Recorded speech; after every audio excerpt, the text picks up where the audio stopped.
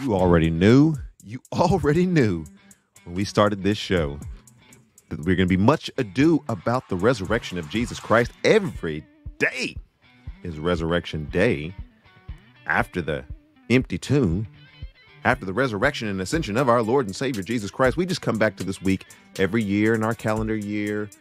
Every year we get back to the essentials. We get back to welcoming the people to church who haven't been to church since Christmas. We get back to welcoming the people who, well, you know, they can do all manner of things. Some churches have 16 different services that are going on this week, and uh, that's that's very good. Invite your friends, invite your neighbors. In fact, we're going to be talking about that. Lee Strobel's got a little bit that, that's going to be coming in a little, little bit later on today. But how are you guys doing? It's the Erskin Music Show, and we're starting out the week on fire.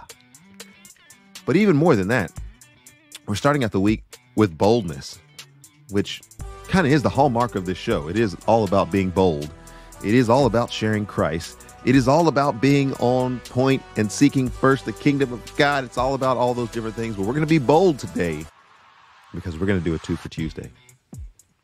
If you've watched this show for any length of time, you recognize that the two for Tuesday often turns into the one, maybe one and a half for Tuesday. But doggone it, I'm determined today. I got my music, I got Michael Jordan in the background. What else do we need for this show? We got the empty tomb scene. We got Resurrection Sunday on the way.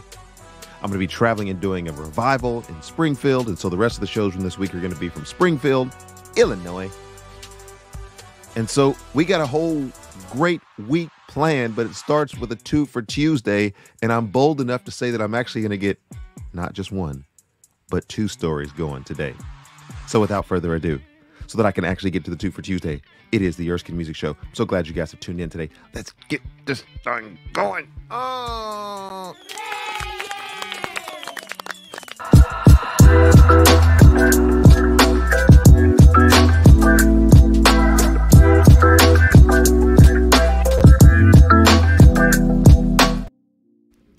Well, I want to let you guys know the comment section is turned on and that you guys are welcome to drop comments in the comment section all day today. Big Head is here reminding me that uh, today is the day that the Lord has made. We're going to rejoice and be glad in that.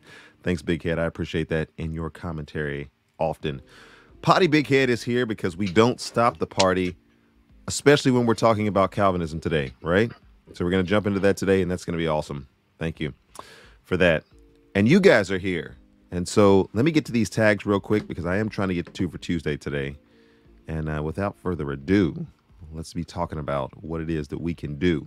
We got we got special rights, we got special privileges that we can do on this show, Big Head.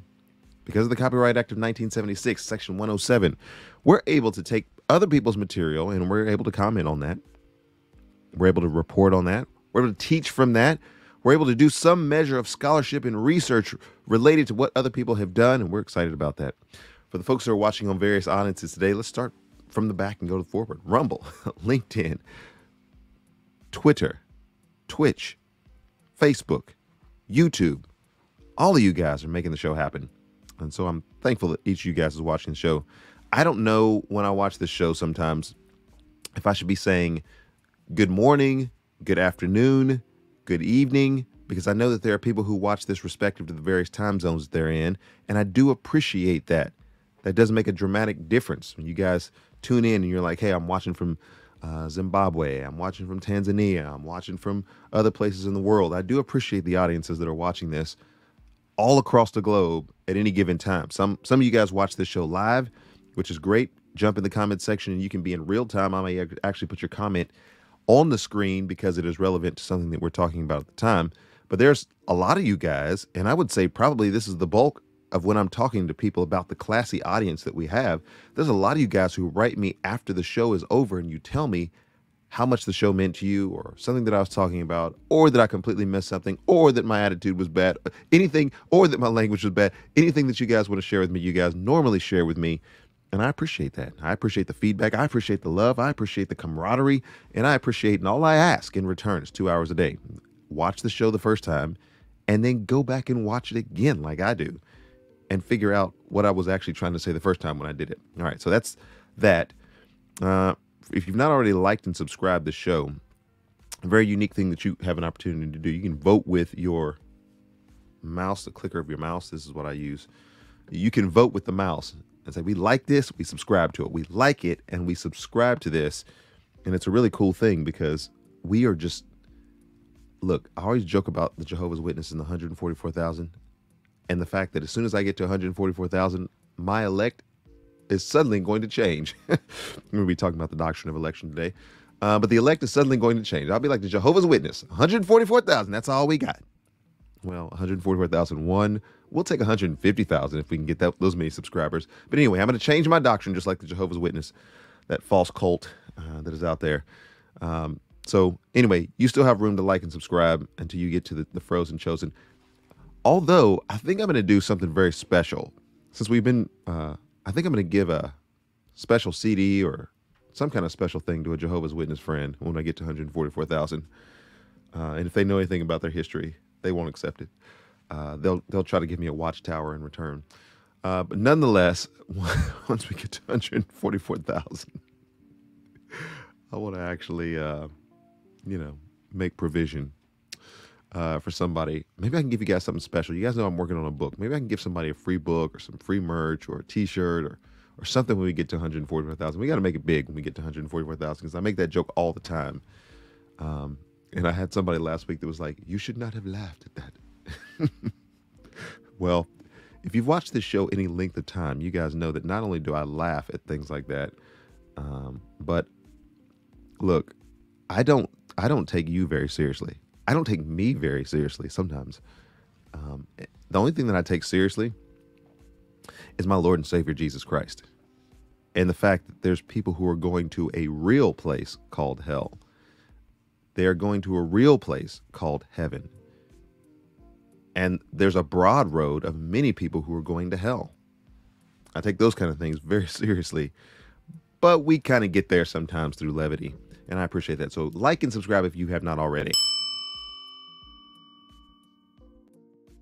All right. We are on track today.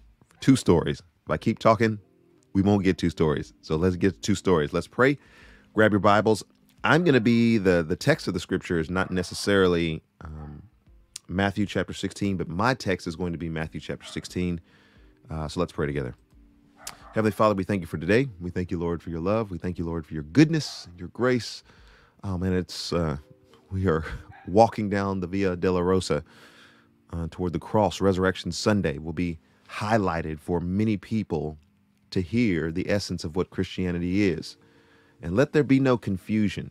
I know there's mm, Elevation Church and other people out there who don't want to talk about the blood of Jesus and they want to talk about all these different things, but let let them not be so classy and so contemporary that they forget about the essence of what Christianity is. There's an atonement that was made on the cross of Jesus Christ that required his blood.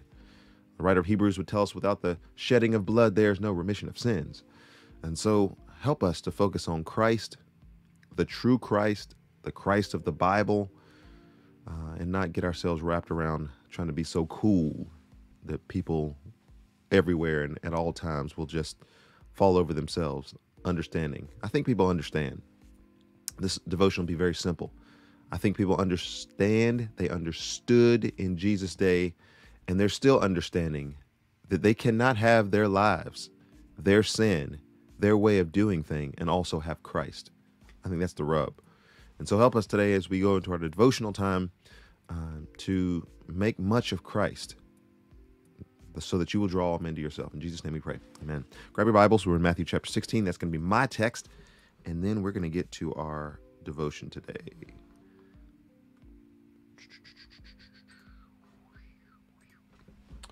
All right. I'm going to read from Matthew chapter 16. This is the uh, Caesarea Philippi confession. Peter is going to here declare that Jesus is the Messiah. And this is a bold claim for Peter and a bold claim even for today. I'll begin reading at verse 13. Grab your Bibles. When Jesus came to the region of Caesarea Philippi, he asked his disciples, who do people say the Son of Man is? They replied, Some say John the Baptist, others say Elijah, and still others Jeremiah or one of the prophets. But what about you? He asked. Who do you say I am? Simon Peter answered, You are the Messiah, the Son of the living God. Jesus replied, Blessed are you, Simon, son of Jonah. For this was not revealed to you by flesh and blood, but by the Father in heaven. And I tell you that you are Peter, and on this rock I will build my church. And the gates of Hades will not overcome it. I will give you the keys to the kingdom of heaven. Whatever you bind on earth will be bound in heaven, and whatever you loose on earth will be loosed in heaven. Then he orders disciples not to tell anyone that he was the Messiah. And this is from our daily bread, and this is the daily devotion. They've gone around the world and they've asked the question. Let's ask the question today Who is Jesus, and what impact upon your life is that? Let's do it. It's a very pointed and personal question, isn't it? If you've been following our daily bread this past week, you know that this is the foundational question for the In Pursuit of Jesus series we've just completed. It's the question the host of the series, Rasool Berry, asked every person in each part of the world he visited. In a way, it's the question he's asking us too. Do we really believe that Jesus' way is the way of life? That Jesus is life? Jesus initially asked a woman named Martha this question. She was overcome with grief at the death of her beloved brother Lazarus. Part of her culture believed that there might be a resurrection of life at the end of all time. Okay. And yet another did not. Jesus challenged her cultural expectation with a declaration mm-hmm. I am the resurrection. I am the life. No need to wait, Martha. I've arrived. In Sweden. Now, before we get to Sweden, let's deal with the thing that Jesus said that's most pressing for us today and in this moment. Comment section is turned on here because I want that smoke. But let's deal with the question and the statement that Jesus is making with reference to him being the resurrection.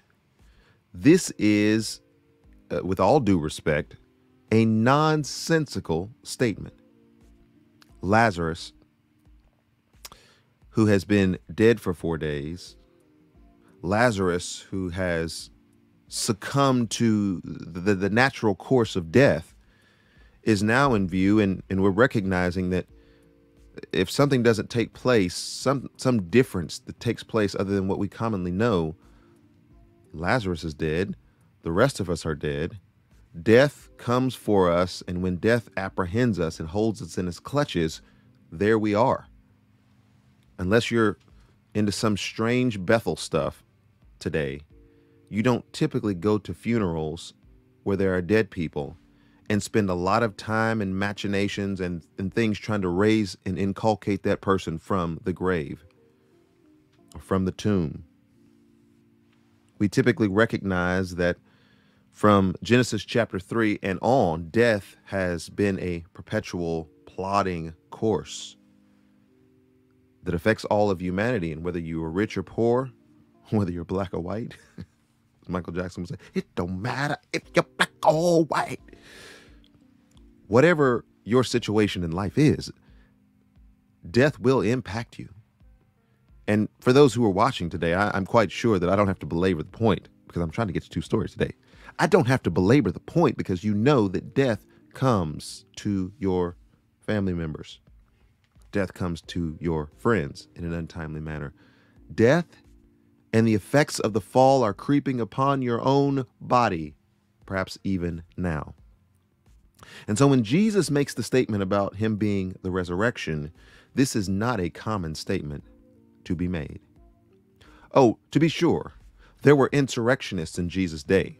There were people who claimed to have a certain power, people who claimed to have a certain authority, people who were doing what quote unquote could be categorized as miracles because they were out of the ordinary and claiming that they could do these things so that people would follow them. You, you project that into the book of Acts and you begin to see that there were such people who were alive even during Jesus' day. But Jesus is making a claim that is extraordinary. Jesus calls himself the resurrection. And if you're a cynic, you laugh him off the stage and you say, Jesus, get on out of here. What are you what in the world are you talking about? It's kind of like C.S. Lewis is talking about. He's lunatic, liar, or Lord. Lunatic in the sense that if he is the resurrection, that means that the grave will not hold him and that he will lead to a life in which the grave will not hold other people if they believe and trust in him. That's a lunatic statement. Or is he actually speaking truthfully with regards to who he is, how he should be believed, and what our proper response to him is? And I would submit to you this morning that indeed he is speaking truth, and that truth is palatable to those who have a humble heart to recognize I'm not going to overcome the grave. I'm not going to overcome death. I'm not going to push my money or my influence onto Jesus and say, Jesus, I've kept all the commandments. I've done all the different things I'm supposed to do. I'm good, right? See how Jesus dealt with rich young ruler and all those that would submit some answer to how the longevity and their eternality is going to go. We've submitted a bunch of answers before God. All of them are insufficient. The only sufficient answer is the atonement of Jesus Christ. If he's not raised from the grave, friends, we're not raised from the grave either. And Paul is succinct enough, but clear enough to tell us in 1 Corinthians that if he be not raised, then none of us are raised. And if he didn't overcome sin and death, then we don't overcome sin and death either. We're just doing religious things. This is just a religious broadcast to take up people's time, space, energy, effort, and mental space. It's entertainment at best if Jesus be not raised from the grave. But since he is raised from the grave, some where's the gospel choir when you need him? but since he is who he says he is,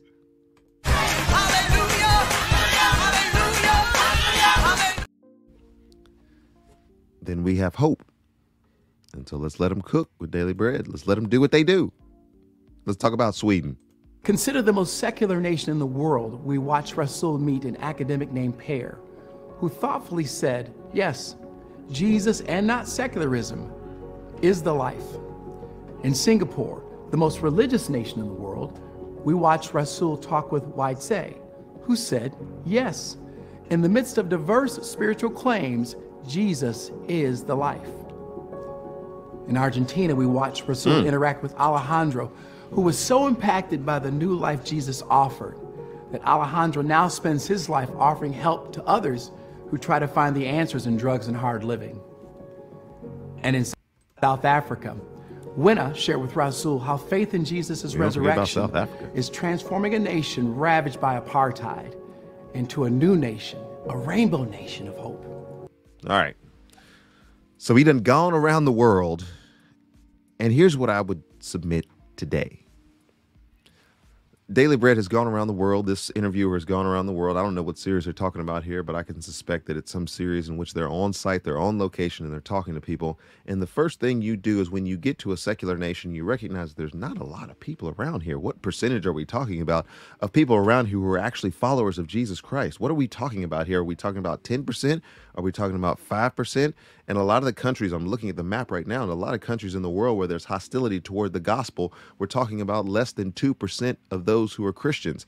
Let's imagine for, for some instance that you're in an area that is not heavily populated with Christians, i.e., East Nashville. What do you do? Do you fold up the tent? Do you roll into your cave and say, you know what, I'm just going to build a structure here? Or, for my favorite that are out there, the preppers, hey, preppers, how you doing? preppers and young earthers. I love you guys. I just think you're idiots. All right. So, do you fold up the tent? Do you roll everything around you? Do you become a prepper and just say, you know what, I'm going to lock myself in my guns and I've got my can of beans and I'm going to outlive the apocalypse for about six more weeks than anybody else? You know, they're all going to hell out there, but we're going to, we got it in here. Is that the response that a genuine believer should have toward the lostness of our world? or oh, or now that I've messed with the flat earthers and the preppers and the or should our response be to get our butts somewhere out there in the public and begin to actually ask the question? I saw a sign the other day and I said, Hey, look at that sign. It's up there in the middle of the city and it says this Jesus, heaven or hell. And it's positioned in East Nashville. And I think it's a beautiful sign. Let me put lights around that sign. Friend, uh, hey, I'm your buddy. I'm your black buddy. Remember our KKK episode? Uh, one of your neighbors here giving gifts to the folks, letting people know about the love of Jesus Christ. Hey, man, just, just wondering when you die, are you going to go to heaven or hell? It's a pretty important question. You got that situation worked out, and I've had some tremendous conversations with people. So what do we what do we do? Do we fold up our tent and we say, you know what? Nobody around here wants this. Nobody around here following Jesus. Nobody seems to care about this, and so we're just going to fold up our tent. Or do we begin to ask the question? And I'm going to have to remind you that at some point, whether you do it in a gentle way or whether you do it in a more, uh, I should say, peculiar way, more pointed way, more, uh, you're going to have to ask the question. You're going to have to have this word that 2024 um, believers who are alive in the Western context and mindset struggle with. And it's a word called confrontation. There's going to be a confrontation. I don't care how nice you think you are. If you're going to retreat from the mission, I'm going to call you a coward and hope that you get shot in the back. That's how cowards die.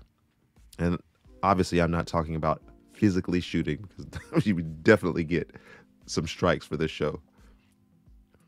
I'm just saying that's a cowardly response. Don't run away from the fight, run into the fight, run into confrontation. And look, if you're the nicest, most soft spoken person that's out there, I'm not trying to tell you to, to be like me. You be who you are, but at some point, you're going to have to confront someone's way of thinking. The collision course of your life and what it is that you do and what it is that you strive for and what it is you talk about and what it is that you have around you and the place that you live and the things that you drive and the things that you buy and the things that you do is going to be a confrontation to the world around you. And if you say something, in which you should say something about what it is that they can have as a result of joy, that's going to be confrontational. And so I'm thus assuming that the true believer and the true follower of Jesus Christ is one in whom they recognize that there is something better that they have to offer to the world than what the world has to offer to them. I get so confused sometimes when I see so many believers who are just hanging out on the sidelines. And I'm wondering, what are you hanging out for? It's almost like you're waiting for a better offer. You're waiting for something better to come along so you can say, oh, yeah, well, that's what I want to do. That's what I want to spend my life and passion and energy for. I'm just I'm just kind of floating out here and just I'm just gonna go to a church and just we enjoy the music and I'm just gonna go and uh, anyway and then go do whatever I want to do. What the heck is that? Devote your life to a passion. Live for a purpose. Do what God has called you to do. And it's not hard to figure out what that is. What is hard is the thing that's in your brain telling you, I can't do that because uh, in this country, they don't want to follow Jesus. I mean, in this part of town, they don't like Jesus. Oh, I, I mean, they're going to be mad at me. They're going to look at me. Oh, I might lose my job. Oh, they might, they might do something to me. I might get blacklisted. I mean, what, what, what, what are we doing? Here's Daily Bread going all around the world. They're asking the same question. I mean, this is not, this is not like a magic formula or anything. Daily Bread is not uh, the Billy Graham crusade. But it seems that every place that they've gone, and I was I there with him. I don't, I don't, I wasn't there with him, but it seems like every place that they've gone, they've found at least one person that they can talk to about Jesus, who's joyfully accepting and joyfully advancing the kingdom of God. Oh, what about you? You remember the old song, Babbie Mason? Each one, reach one. What about you? And in Israel, Messianic Jews and Palestinians, in spite of cultural expectations of Jesus as just a good man, are bold even in the face of persecution to declare him as the resurrection and the life. Jesus announced he was the resurrection, and almost 2,000 years later, all around the world, we see his life flow through those who trust in him. But for this message to unlock real life for each of us, we must respond with faith to the same question Jesus asked Martha. On this Easter Sunday, do you believe this? All right, that's the question. Folks, get your tambourines ready because that was a great devotion today. And uh, there'll be others like it because it's Easter week. Resurrection Sunday is on the way. Get your tambourines ready.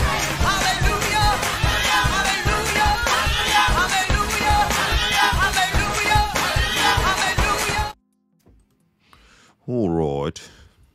Kimberly, good morning. I want to direct that to you because every show so faithfully, I noticed that you were watching there. And uh, yes, I don't say good morning to you enough, but thank you so much for your watchership. And uh, man, good devotion today. I'm going to be more like it. You guys know I'm not. yeah, Big Head said, uh, this is kind of a way of life around here. It is a way of life, isn't it? All right. Well, we got two for Tuesday. All right. We're doing good on time. Uh, so let's get some Erskin music here. And uh, in just a few moments, we'll come back after this song. It is, after all, a music show. Uh, Grace made the first move. It's a song that I'll be singing this week. Don't worry. Together Church in Springfield, Illinois. I'm coming for you. I'm going to be singing this song when I come.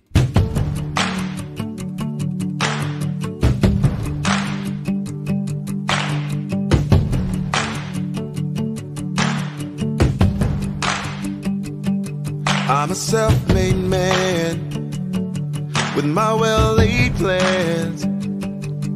And I was taught to do it on my own. But I've tried and failed. And I've been derailed. From dust you picked me up and now I know.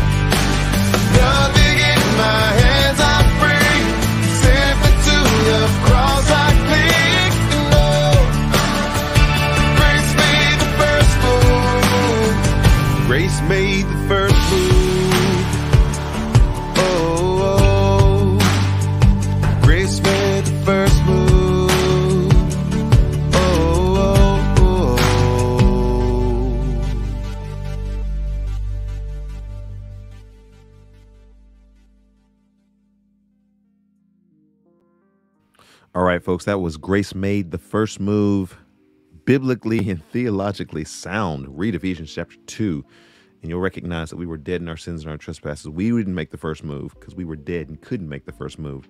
It was God who made the first move.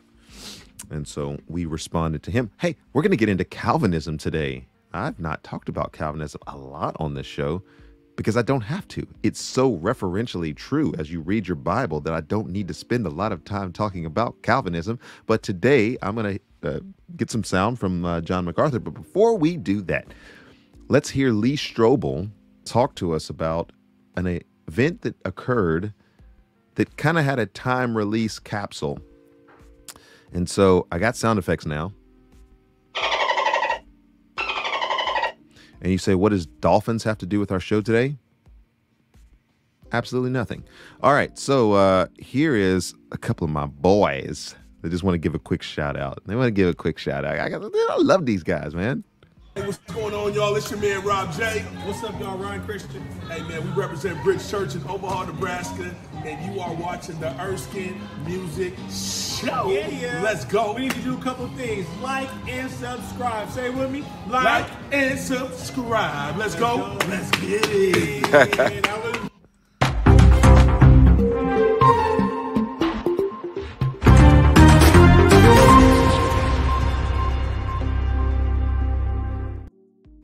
This is one of our two stories for today, and uh, let's get this thing on here again. Uh, again, we got a story Lee Strobel,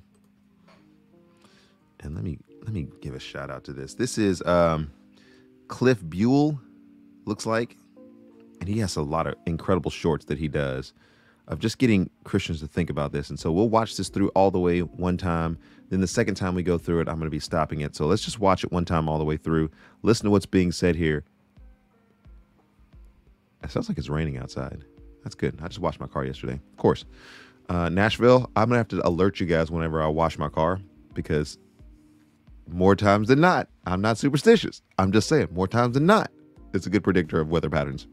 Or it could just be the weather patterns. You need to watch this. a new this. Christian, I was still editor at a newspaper in Chicago, and I felt the Holy Spirit in a very specific way nudging me to go into the business office of the newspaper and invite my atheist friend to come to Easter services at our church. So I went up to him. I said, how are you doing? He said, I'm doing great. I said, you know, Easter's coming up. He said, oh, Strobel, you know I'm an atheist. I don't observe Easter. Easter's when we remember the resurrection of Jesus. He said, well, he wasn't resurrected. I said, actually, there's good evidence he was. He looked at me and said, I don't want to go to your stupid church. I went out and I thought, what was that all about? Why did I feel so specifically compelled to go and invite him to Easter services, talk about the resurrection? I shared the gospel with him, and he just shut me down. And I'm telling you, this bothered me for years, because to this day, he's an atheist. Four years later, by then I'm a pastor, and a guy came up to me at church one day, and he said, can I shake your hand and thank you for the spiritual influence you've had on my life? He said, one day, not long before Easter, I was in the business office of the newspaper. I was on my hands and knees, working on the tile on the floor behind a big desk, and you walked in. I didn't even think you knew I was there. Started talking to this guy about God, and you started talking about the evidence for the resurrection, and you started inviting him to church, and this guy was shutting you down. I'm on my hands and knees, listening to all this stuff, and my heart's beating fast, and I'm thinking, I need God. As soon as you left, I called my wife. I said, we're going to church this Easter. She said, what? I said, yeah. He said, we came to your church at Easter. I came to faith. My wife came to faith, and our teenage son came to faith. And I want to thank Subscriber, follow.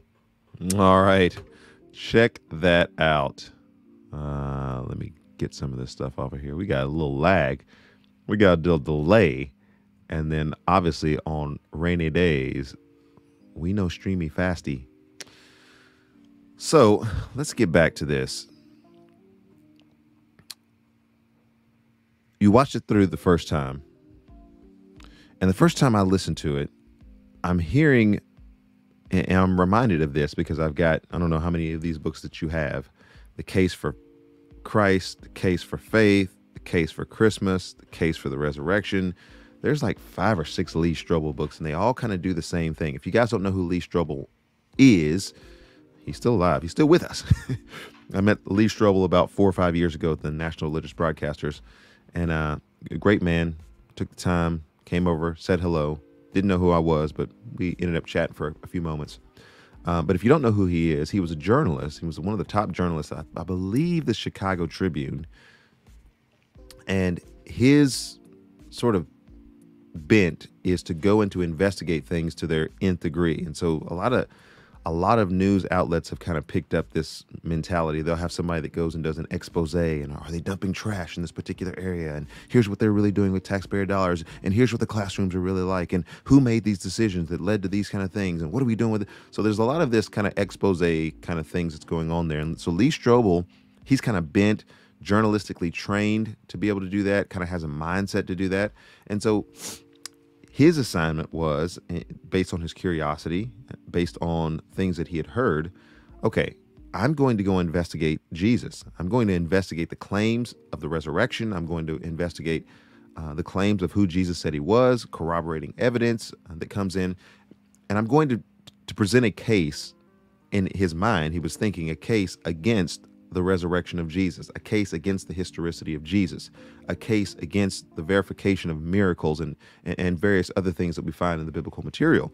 And what he began to find out is the deeper and deeper that he got into the research, the more and more the evidence and the pieces of evidence began to mount up to the point where his wall, the Holy Spirit brought the wall down in his own life to be able to say, this is not just stories that are made up. This is not just fanciful. This is not just somebody's uh, figment of imagination, but these stories have a high degree of credibility. And so, in going back and reading the biblical accounts from the mindset that this is highly credible evidence, then what is Jesus saying about himself? And that's how the Lord ended up bringing him to faith in Christ. And so, if you can kind of couch that in the context of what it is that you're hearing here, here's Lee Strobel, who now is going back into the office and he's got this newfound faith. He's got this newfound recognition of who Jesus is, and everything is beginning to change in his life, even to the point here, the conversations that he's having with his coworkers. Why would he? And this is a question that I would ask you today. Why would you, if you have the truth, not share that with the people that are around you? That would be one of the most awful things that I think that a person could do.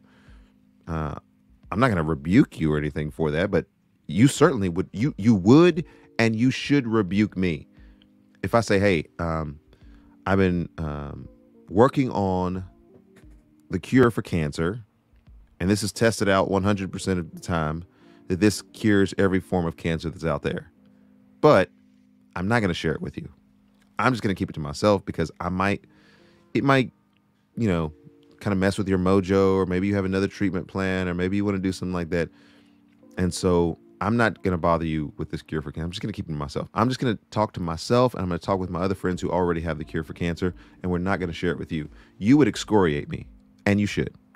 You would say all sorts of evil things about how wicked and how deplorable I would be to withhold that. So imagine now Lee Strobel is going into the place of work and he is sharing the faith with the people who are around him. And what happens? It's, uh, you know, it's facing the Giants. Once we find Christ, everything gets better. We win the state championship. We kick the field goal. We go the whole distance on the football field, right? Everything gets better. No, it got much worse in certain situations. And here's this guy that he's inviting to church on Easter, Christmas and Easter only. The CEOs will be out in full force this this week. But he's inviting him to come to church because he wants people to hear about who Jesus is, the claims, the resurrection. He can verify all this from his research and just mounds and mounds of research and evidence, and the Bible's right there. And he believes the Holy Spirit is going to take that and become effective in people's lives. And he goes to his coworker, and his coworker says, "Man, I don't want that junk. Get that coin out of my face."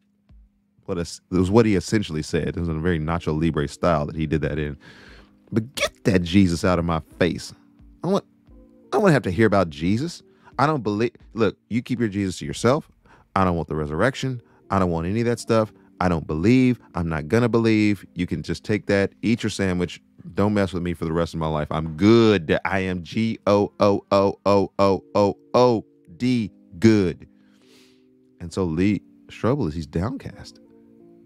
But what's going on in the background? There's a coworker who's he's changing out something and he's on his hands and knees and he's down there and he's hearing this conversation. He's hearing this conversation this guy that's being invited. And the Holy Spirit begins working in his life. The Holy Spirit begins captivating him and he begins to tremble. There's adjustments that should be made in my life. And so he takes his wife and they go to church and takes his children and they go to church, at least his son. I don't know how many children he had, but at least he takes his son, his teenage son, which I have a special heart for. His teenage son comes to faith in Jesus Christ. And so now this family has come to faith, and it's somebody that Lee wasn't even talking to. And so listen to this again in the light of what's being said here and listen to this in the light of you thinking about in your own life those in whom, look, you got to have the conversation out loud for anybody to hear it. Somebody might reject it, but somebody might be listening who's ready to receive it at that moment. Listen to what's being said. Well, for more Christians, you need to watch a new. Christian. I was still editor at a newspaper in Chicago, and I felt the Holy Spirit in a very specific way nudging me to go into the business office of the newspaper and invite my atheist friend to come to Easter services at our church. So I went up to him. I said, "How you doing?" He said, "I'm doing great." I said, "You know, Easter's coming up." Said, "Oh, well, you know, I'm an atheist. I don't observe Easter. Easter's when we remember the resurrection of Jesus." He said, "Oh, he wasn't resurrected." Said, "Actually, there's good evidence he was." He looked at me and said, "I don't want to go to your stupid church." I went out and I thought, "What was that all about? Why did I feel so specifically compelled to go and invite him to Easter services, talk about the resurrection? I shared the gospel with him, and he just shut me down." And I'm telling you, this bothered me for years because to this day, he's an atheist. Three years later, by then I'm a pastor, and a guy came up to me at church one day and he said, Can I shake your hand and thank you for the spiritual influence you've had on my life? He said, One day, not long before Easter, I was in the business office of the newspaper. I was on my hands and knees working on the tile on the floor behind a big desk, and you walked in. I didn't even think you knew I was there. You started talking to this guy about God, and you started talking about the evidence for the resurrection, and you started inviting him to church, and this guy was shutting you down. I'm on my hands and knees listening to all this stuff, and my heart's beating fast, and I'm thinking, I need God. As soon as you left, I called my wife. I said, We're going to church this Easter. She said, What? I said, Yeah. He said, We came to your church at Easter. I came to faith. My wife came to faith, and our teenage son came to faith. And I just want to thank. Subscribe or follow. All right. So before we get up out of that thing, really quickly here, it doesn't take a whole lot of qualifications. it doesn't take a seminary degree. You don't have to be a journalist in the Chicago Tribune. All those things are nice. But here's my question to you today Are you at least ready to give somebody something? Give them something today from the Bible, hopefully from the Bible. I don't know where else you'd be getting it from, but uh, there are corroborating sources outside of the Bible that do verify that what the biblical claims are historically uh, happened in reference to the life of Jesus. Are you ready to give somebody something today? If they were to come up to you and say, Hey, I just want to talk to you about the historical claims of Jesus, the fact that he was a man who lived in history here, AD 4 to about AD 32, somewhere around in that area, uh, in uh, Palestine. He walked around, he did miracles. They were verified by the disciples. Many people began to follow him at a particular time. The religious leaders of his time recognized that he was going to be a problem. And so there was a plot, there was conspiracy, there was a crucifixion that took place. They put him in a tomb. That tomb, after three days, was empty, and they didn't find his body. And so some people believe that his body was stolen. Um, but that doesn't make any sense because the, the tomb was being guarded, and they had every incentive because the religious leaders knew that Jesus was claiming to be the Messiah. They had every, every incentive to just produce the body. Not only could they not produce the body, but I was listening to Nick Freitas the other day, and they were saying that uh, you have uh, over 40 people for over 40 years who are holding a secret that they know is false if the resurrection is not true. Somebody in that group would have said, Hey guys, you know, for fear of our lives, maybe we need to just go ahead and tell the truth. And it has been called the Watergate argument for the resurrection of Jesus. You know, you can't have, you know, 12 guys who can hold a secret like that for more than three weeks. You see how Watergate ended up. So if this massive secret, this massive conspiracy was taking place among the disciples, and they're you know talking to themselves and saying, okay, you you know he wasn't really resurrected, you know the tomb wasn't really empty, um, but we're going to propagate that that untruth, um, especially in the face of the Roman government, who has every incentive to squash that out, and the religious leaders of the day who were vehemently against the claims of Jesus, the King of the Kings, King of the Jews. Um, we're just going to propagate that, which is, by the way, I'm just going to really quickly stop at this point and just say so anyway i'm giving evidence for the resurrection of jesus. You don't need a seminary degree to do that. You just have to read your bible. Read your bible. You talk to people about what you're reading but let me just go ahead and say this when when i heard a flat earther try to use this same logic to prove flat earth theory i about fell out of my seat because it's the same argument in reverse they said well we have all the major world religions we have islam buddhism uh, Judaism, Christianity, they all got together and they conspired and they said, you know what? We're going to tell people that the earth is flat. And so not only is it a religious conspiracy, but it's a scientific conspiracy, the working in conjunction with the government. And all of them agreed, and none of them is breaking rank. And so the flat earthers all, well, I shouldn't say they all believe this, but many of them believe that this massive conspiracy is being held by those who vehemently are diametrically opposed to one another. and I won't go into the Crusades or any of the things like this, but groups that have avowedly fought one another to the death have all conspired to say, well, we can't disagree on or we can't agree on other things, but we, we can agree on is that we must tell people that the earth is round. Because after all, we know it's flat, but if we tell people the earth is round, it'll help us be more in unity. I don't know why people would use that logic, but the logic is sound logic. Like, why would people who know that there's a lie maintain that lie generation after generation after generation after generation? And so, Lee Strobel is there, and the guy thinks that he's there for him. The guy's convicted because he's given him something to think about and he's thinking about this. And he's like, man, I, I, I need to do something different than what it is that I'm doing. And I'm wondering today if there's somebody who's watching this show or somebody who's out there today who's recognizing, uh, I need to do something different. I've heard something. I've seen something. Well, come see a man. His name is Jesus. And I don't know what the Dolphins have to do with any of that, but they're here. All right, let's get out of that. Let's get out of that. We got to get to Calvinism today. Calvinists, Calvinists, calling all my Calvinist friends. Calvinists, are you guys out there? Arminians? I, look, I don't know anybody who calls himself an Arminian. I just know people who are Calvinists, and I know people who say that I'm not Calvinist. Um, you know, there are some Molinists that are out there, um, but we're not going to deal with them today the Lord will deal with them. but let's get to our second top story for today.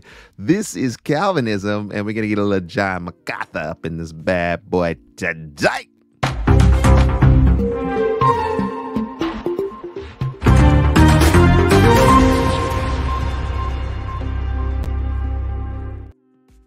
You say to yourself, that's not John MacArthur. You tricked me. It's a bait and switch. It's a Todd Friel that's going to be giving us the explanation here of John MacArthur.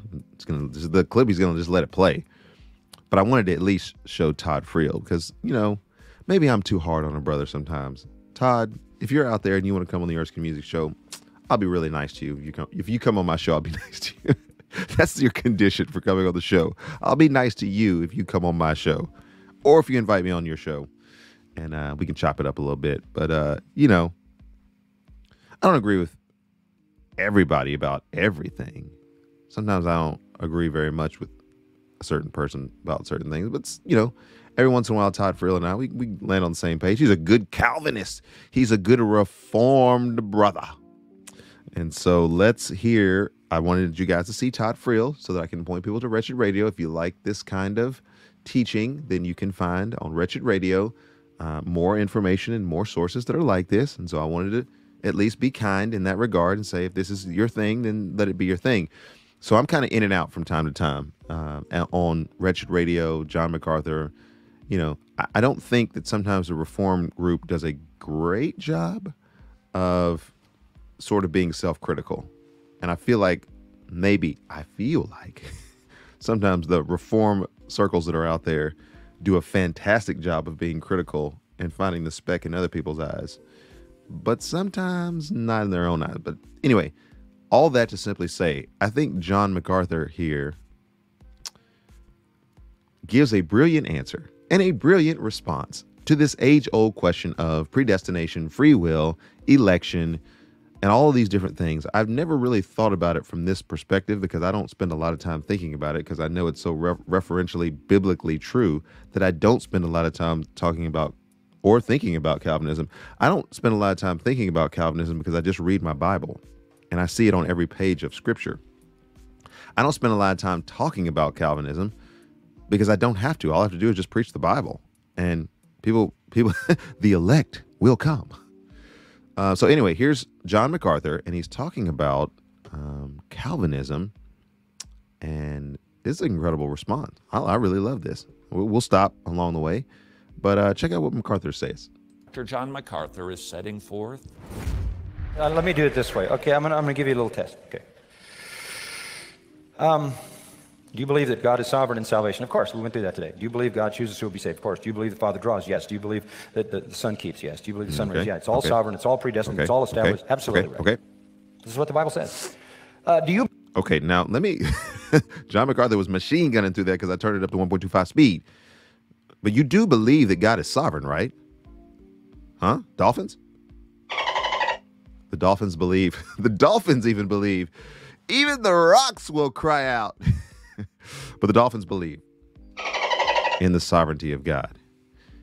If you're a person who has this massive flaw in your theology and you don't believe in the sovereignty of God because in some way, shape, form, or fashion you have elevated human free will to the place where God really would like to be able to do something in a person's life, but I mean God's got to wait until that person that person decides what God can do.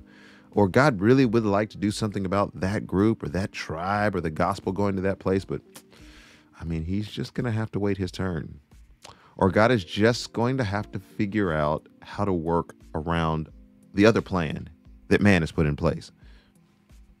That is bad theology. That is abhorrently bad theology. And if you're out there and you believe that human free will trumps God or stops God or limits God or causes God to have to rethink, uh, reimagine, replan, reinvent what it was that he had originally wanted to do, then you are not reading the Bible. You, are not recognizing the lamb that was slain before the foundation of the world.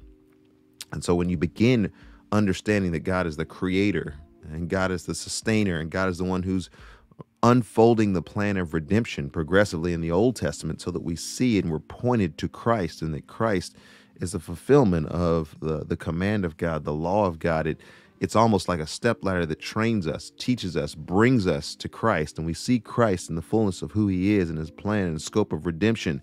If you think any of that happened just because God was trying to figure out a way to get things done and that was the best possible plan that he could come up with based on what people were going to do free will wise, he knew what they're going to if you're doing all those different gymnastics, that's unnecessary. I just want to say I'm not going to make fun of you because why would I why would I do that? It's the doctrine of grace. I would be making fun of myself if I was making fun of you, friend. If your theology is weak in the area of free will and predestination, I'm not going to make fun of you at all because I used to think that way. I used to be such a because I'm a prideful person. I was staunchly no, it has to be free will. It has to be my own initiative. It has to be what I want it to be when I want it to be. And the condition and the basis by which God had to choose me, had to be something intrinsic within me. I used to think that way. And so I'm never gonna make fun of you guys. You got a you got a home on this show if you are not reformed, because I was not reformed at one point in life and thought it was all dependent upon me. John MacArthur is going to ask some very important questions to help us get our theology a little bit better. And if we have our theology a little bit better, more biblical, uh, he's going to begin unpacking this mystery. And look, I'm be honest with you today. The Dolphins nor myself are going to solve this for all time, for all people. Maybe that was a little overspeak, but not much. Um, but he is going to give us a broad way of thinking about this, or at least maybe a broad way of categorizing this that is a little bit broader than just is it this or is it that? Let's expand the conversation a little bit today. Expand our minds a little bit today uh, in reference to the question of predestination, election, free will, Calvinism, etc. So he's talking fast because I sped it up. So you better think fast. believe that um, whosoever will may come? Yes. That's what the Bible says.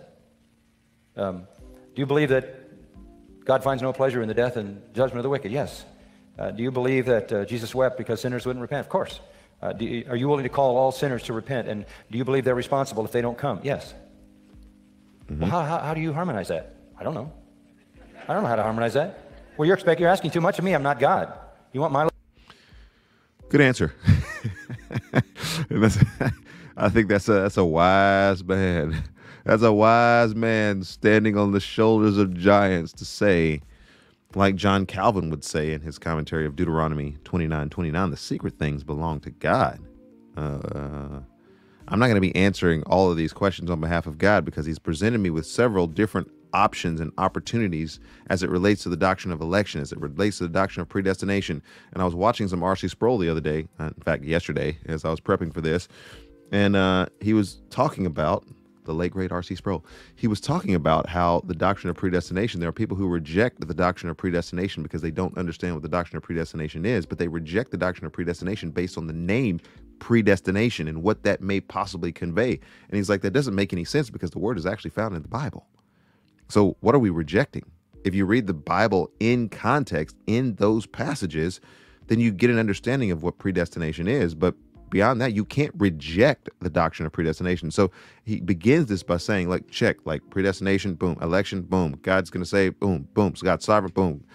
But on the other side of that, on the other side of that, listen to what it is that he's saying. Um, whosoever will uh, will come, yes.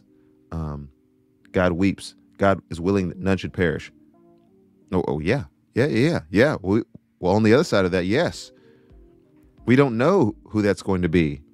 We know that there's got to be some response to God. We want to offer that response to everybody, but not everybody will come. And so John MacArthur's done a fantastic job here of kind of laying out the parallels on both sides of the question about Calvinism, predestination, free will, all those different things. He's laid out human autonomy, human response, the um, ubiquitous presentation of the gospel to all people. And he's saying, I'm not going to answer that question because we can't answer that question. Listen to what he says about himself. This is John MacArthur. He a smart dude. But I think the best that we ever get is to answer this question about Calvinism like this. A little peanut pea pusillanimous brain to grasp that? Give me a break. It's not my problem. Good answer. But the, the one thing I can't do is, is deny what Scripture says. Uh, this will comfort you. Who wrote Romans? This is basic Christianity 101 here. Mm, he about to get you. He about to get Who you. wrote Romans? Can't answer the question, can you? Why? All of Paul? All his vocabulary? All his heart? All his thoughts? All his words? All of God? And yet not mechanical? That's a good example. That is a really good example. And we think about that in, in terms, and he's gonna he's gonna hit us with another haymaker here in just a second. If you hadn't stumbled and fallen and been knocked out by the first one, he'll get you on the second one. I guarantee it. Who wrote the book of Romans? I just got finished reading Hebrews. So we might still kind of debate and answer the question who wrote Hebrews? I think it was Apollos. But nonetheless, who wrote the book of Romans? We've got verifiable evidence there. We can look at grammar, we can look at syntax, we can look at the biblical case related to harmony of the letters of Paul, the travels of Paul, uh, the earmarks of Pauline theology, grammar, syntax, all those different things. Paul, the person, Paul wrote the book of Romans, but it wasn't just Paul because all scripture is God breathed. So God wrote Romans through Paul, and it's not mechanical like he was talking about. It's not a, a complete dictation. Paul, you will write this word, and then you will write this word, and then you will put a period here, and then you will use vowel pointing, and then no, it's it's it's flowing, it's it's expressive, it's contextual, it's grammatical, and yet it's all of God who is revealing himself through this process. Ooh, that's good. Second haymaker's coming. I'll, I'll- since you did so well on that question, I'll ask you another one. Um, who lives your Christian life? God? So you want to hold him responsible for the condition of your Christian life? Who lives your Christian life? This is pretty, pretty basic, right? You're doing it right now, every day. Who's living your Christian life? You say, I am. Really? You say, God is. I don't know whether you can convince everybody who knows you. Mm. Mm. You can't even answer that question. Listen to what Paul said I am crucified with Christ. Nevertheless, I live. Yet, not I. He didn't know either. He said, This is the divine mystery. It's all of me and all of him, and what's wrong is me, and what's right is him. Mm, he said it well. It's all of me and it's all of him. And what's wrong is me and what's right is him. Mm. Mm. Haymaker one. Haymaker two. it's all of me. I mean, you do think you're living your life, right? I know there's this kind of disassociated thing that's going on here, but you do think that you're living your life right now. It's not somebody else. Nobody else is sitting in this chair right now. It is me. It's all of me. And yet, any inspiration that comes to my mind, any articulation that comes from my mouth is all of him. All the bad is me. All the good is him. How are we reconciling that? And what MacArthur is saying, and what I'm saying, and what you ought to be saying out there as you talk about Calvinism and all these different lofty but biblical things is to God be the glory. In every major doctrine of the Bible, in every major doctrine, you have an apparent paradox that you cannot resolve. Mm-hmm. I know that I'm kept eternally secured by God, but I also know I'm commanded to persevere in faith. Mm. Two sides of the same thing. Yes. I know I can't be saved unless I'm chosen and called, and I know I can't be saved unless I'm willing to repent and believe. Ooh, that's a good one. Come on. Come on, my brother.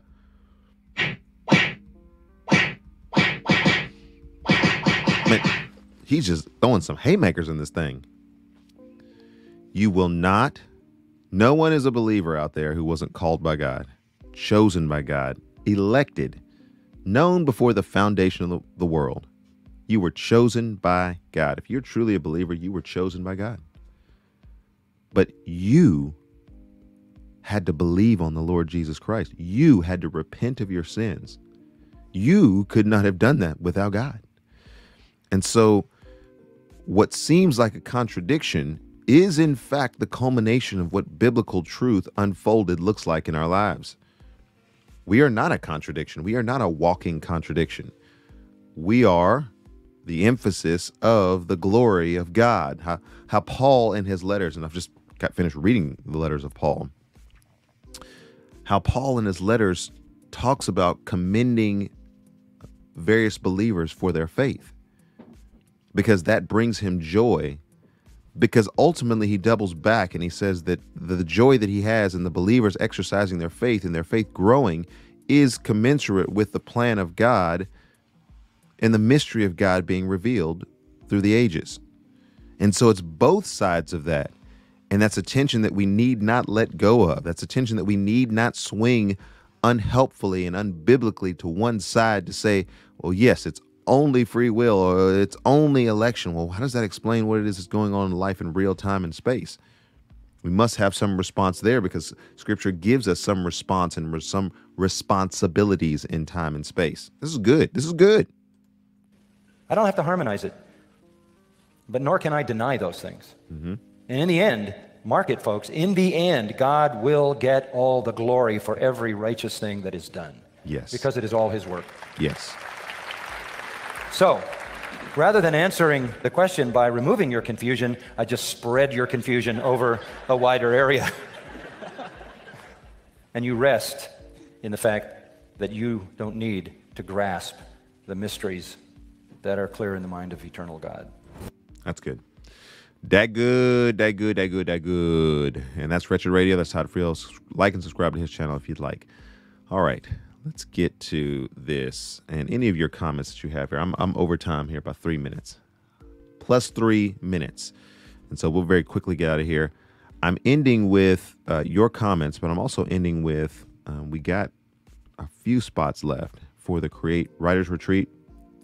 I'll play this watch you guys' comments as they head toward the end of the show. What do you guys think about that expression of Calvinism, that expression of free will, that expression of humility? I think, at least that's where I want to come from from this perspective. But I'm going to play this and then we'll be out for today. Coming back tomorrow. Probably be talking about Kanye tomorrow. I got a travel day. That, that's an easy story to talk about. It's an easy, hard story to talk about, but we'll also be talking about the resurrection. And then we'll be prepping up for our interview with Pastor Doug Morrow. I think he'll do an interview. At least we'll get some sound bites from him. I'll be doing, uh, for those of you who are in Springfield, Illinois, or in the surrounding area, I'll be there on Wednesday, Thursday, and Friday evening preaching a revival and also playing the best of Erskin music. And I got a couple of new songs I'm going to be playing. And so if you want to be the first to hear some of those new songs, Together Church on North Grand Street, Together Church on North Grand Street is where we will be this week. Headed out, last show from the happy confines of Nashville, Tennessee. I will see you guys in Illinois And then we'll be back for Resurrection Sunday. And uh, if you guys don't have a place to go, we're House Church Nashville here in Nashville. So, anyway, uh, watch this and then we'll be out.